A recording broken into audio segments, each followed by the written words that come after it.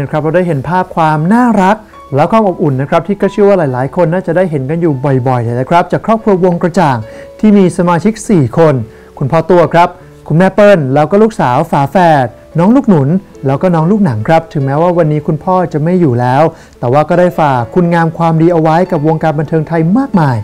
นอกจากนี้ก็ยังมีลูกสาวฝาแฝดนะครับสองคนที่เชื่อได้ว่าใครได้เห็น ก็ต้องรู้สึกว่าชื่นชม แล้วก็ภูมิใจแทนคุณพ่อคุณแม่อย่างแน่นอนครับ ก็ในพวกเธอนะฮะก็ได้คำนิยามว่าลูกไม้ตกใต้ต้นเลยแหละครับ ก็ถึงแม้ว่าน้องทั้งสองคนจะเป็นฝาแฝดกัน แต่ว่าก็มีความถนัดกันคนละด้านครับ โดยลูกหนุนเองนะครับชื่อจริงว่าสุภราวงกระจ่าง ส่วนร้องลูกหนังนะครับมีชื่อว่าศรีตลาวงกระจ่างครับ ทั้งสองคนเนี่ยก็เรียนจบชั้นมัธยมจากโรงเรียนนานาชาติร่วงฤดี จากนั้นก็แยกกันไปเรียนต่อตามสายที่แต่ละคนถนัดครับ น้องลูกหนุนครับเลือกเรียนปริญญาตรีที่วิทยาลัยดนตรี สาขาการแสดงขับร้อง มหาวิทยาลัยรังสิตส่วนน้องลูกหนังได้ไปศึกษาต่อที่ประเทศเกาหลีใต้ Eva Women's University และยังเป็นนางแบบของค่ายดังอย่าง YGK Plus ของเกาหลีใต้อีกด้วย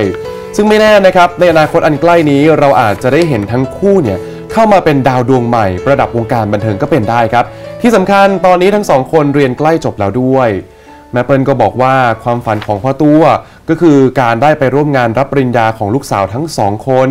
แม้วันนี้ครับคุณพ่อไม่ได้อยู่แล้ว แต่เราก็เชื่อว่าเขาจะต้องมองเห็นความสำเร็จ แล้วก็น่าภาคภูมิใจของลูกสาวทั้งสองคนอย่างแน่นอนครับ